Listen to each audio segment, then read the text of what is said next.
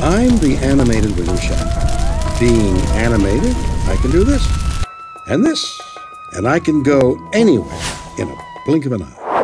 On my outer space, someone is dreaming up a new destination.